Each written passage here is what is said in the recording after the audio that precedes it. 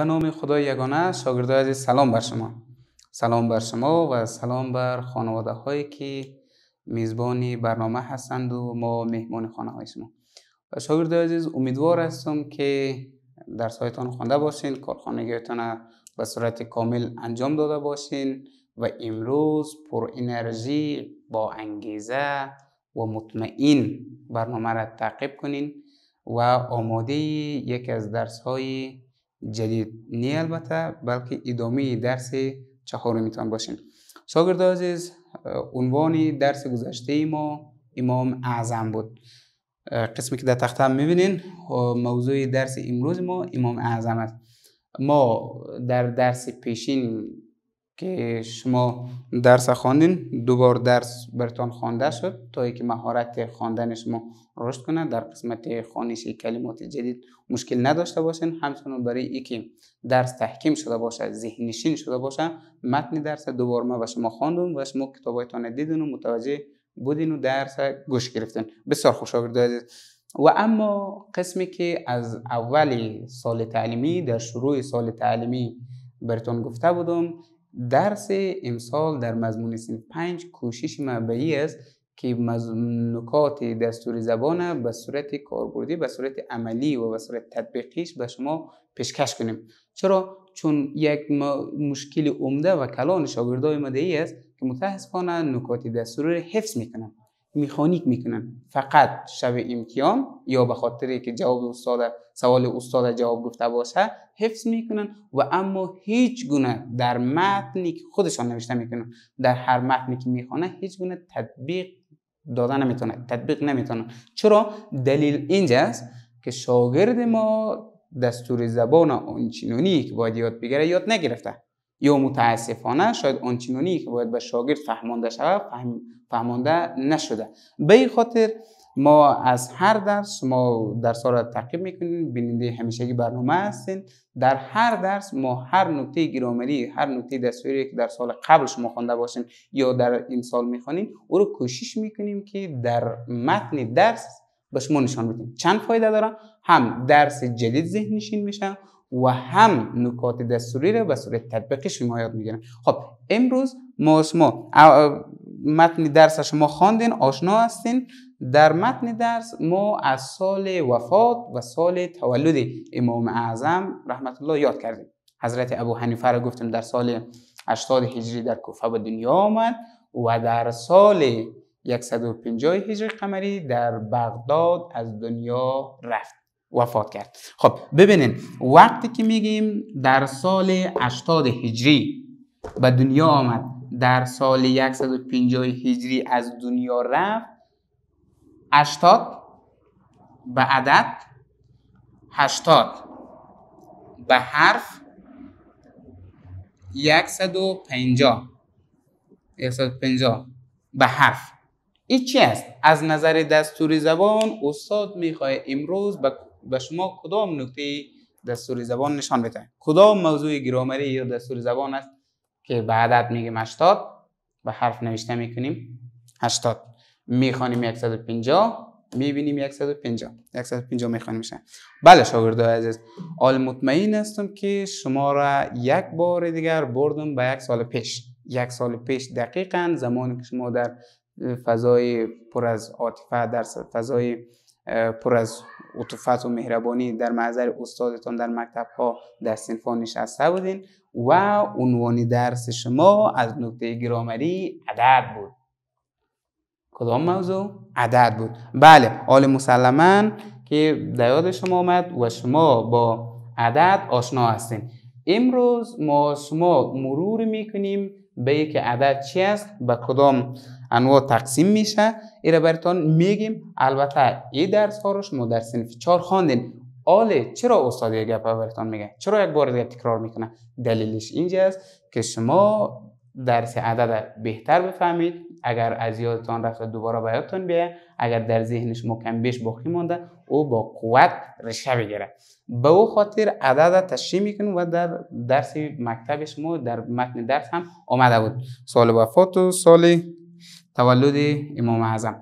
شاگردای عزیز ما عدد در مرحله اول به دو دسته تقسیم می‌کنیم. یکی ما ما عدد از نظر ساختمان مطالعه می‌کنیم و یکی هم عدد از نظر معنا مطالعه می‌کنیم. عدد از نظر ساختمان به سه دسته تقسیم میشه که شما ایره در کتاب های مکتب نخوندین و نمی‌خوانین. شاید در سنف های بالاتر در دوره لیسه بخوانین. اینجا فقط نامش براتون میگم و تشریحاتش بانه برای زمانی که شما انشاءالله هم از نظر جسمی و سنی و هم از نظر علمی کلان میشین. خب عدد از نظر ساختمان به سه دسته تقسیم میشه. عدد ساده است عدد مشتق یا ساخته است و عدد مرکب است. اما شاگرد عزیز عدد از نظر معنا به پنج دسته دیگه تقسیم میشه. به چند دسته تقسیم میشه؟ بله به پنج دسته تقسیم میشه. اعداد اصلی داریم ما. اعداد ترتیبی داریم ما اعداد توزیعی داریم ما اعداد کسری داریم ما و عدد مبهم داریم ما. خب دقت کنید شاگردای عزیز به این دیاگرام که در تخته براتون نوشته که متوجه باشین. عدد ما از دو راه گذر مطالعه می‌کنیم. از چند نگاه عدد به بررسی می‌گیریم؟ دو نگاه. از نظر ساختمان از نظر معنا. از نظر عدد از نظر ساختمان شما در کتاب مکتب نمی‌خوانین نمی‌خوایم شما را سردرد بسازم. عدد از نظر ساختمان به عدد ساده مشتق و مرکب تقسیم میشه و اما عدد از نظر معنا این پنج دسته پنج کتگوری را شامل میشه. اعداد اصلی است اعداد ترتیبی است اعداد توزیع است اعداد کسری است اعداد مبهم است. خب شاگرد عزیز ما امیدوار هستم که این دیاگرام شما در کتابچه هایتان نوشته کرده باشین و اما بیاین در قسمت مثال ها ببینیم. اعداد اصلی کدام است؟ اعداد ترتیبی کدام هاست؟ اعداد توزیع و کسری مبهم کدام اعداد میگن؟ و مثال هایش اینجا براتون نوشته می‌کنیم. خب همچنان در لابلای درس باز انشاءالله از نظر ساختمان هم ایره براتون میگیم که یه عدد ما ساده است مشتق است یا مرکب است. برای چند ثانیه ببینین. دوستایی که پس مونده لطفا شما نوشته کنین. به درتون می‌خوره درس های گذشته شماست و اما باید یاد داشته باشین. خب بسیار خوب. آل شاگردای عزیز بیاین که ما ما عدد از نظر معنا که خواندیم تشریح کنیم. برای هر کدامشان ما ما مثال بتیم اول اعداد اصلی را ما ما خواندیم. اعداد اصلی را خواندیم. دوم از اعداد ترتیبی یاد کردیم. سوم اعداد توزیعی را شماره گذاری کردیم. چهارم اعداد کسری را داشتیم و سرانجام عدد آخر تقسیم بندی از نظر معنا عددی مبهم شاگرد خب اعداد اصلی کدام اعداد میگن؟ اعداد ترتیبی چگونه اعدادن؟ اعداد توزیع به کدام اعداد گفته میشه اعداد کسری کدام اعداد شامل میشه؟ و بالاخره مثال های اعداد مبهم کدام هان؟ هرچند که اعداد مبهم است ما در صنف 4 نخواندیم از شامل متنی در صنف 4 نبود. خب اعداد اصلی شاگرد عزیز شما می‌فهمین اعداد اصلی به اعداد گفتن میشه که اعداد ترتیبی اعداد توزیعی کسری و مبهم از اعداد اصلی ساخته میشه. پس عدد اصلی اعدادن که سایر اعداد از او ساخته میشه صحیح شد؟ خب اعداد اصلی مثال میگیم میگیم یک پنج ده بیست. یک پنج ده بیست. اعداد چی است؟ اعداد اصلی است. اعداد ترتیبی چی است؟ اعداد ترتیبی قبل از یادم رفت ولی خیر است. عالی میگم براتون. اول باید عدد تعریف کنیم. عدد شاید از یاد من رفته باشه اما مطمئن هستم شما شاگردای عزیز در ذهنتان دارین. چرا؟ چون شما خواندین. بار بار استاد گفته شده. وقتی که در زندگی عملی وقتی که میرین یک چیز پشت سودا سودا می‌خرین یک چیز حساب می‌کنین عملا با عدد شما سر کار دارین. شاگرد عزیز از پارسال شما به یاد دارین که عدد کلمه های شمارش هست.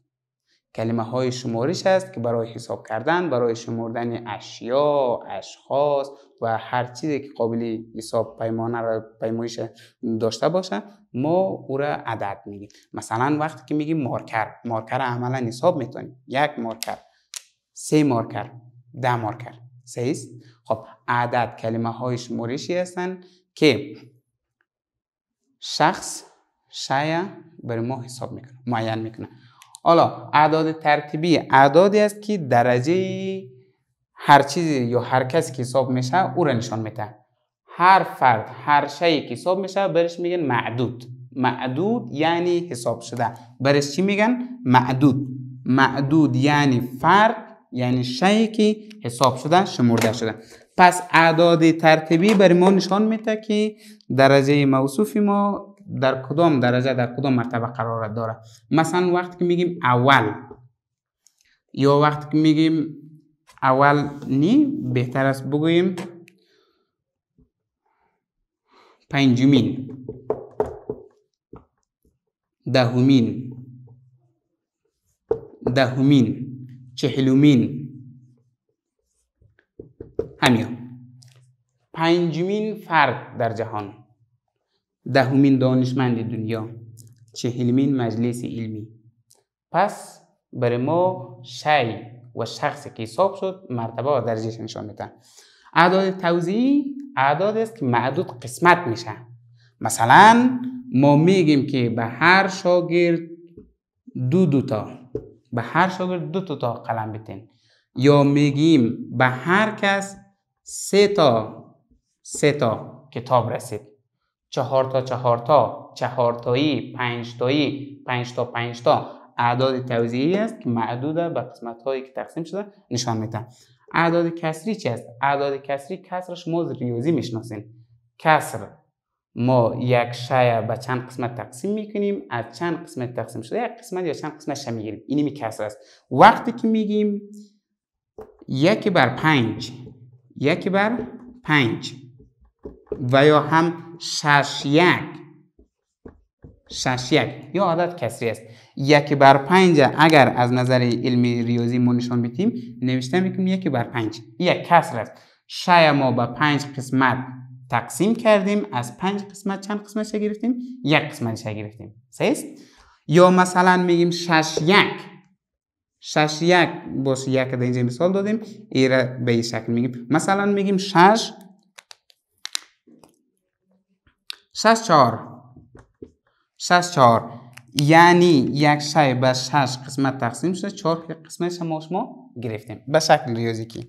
و اما عدد مبهم عددی است که به اشخاص و اشیایی که شمارش معلوم نیست.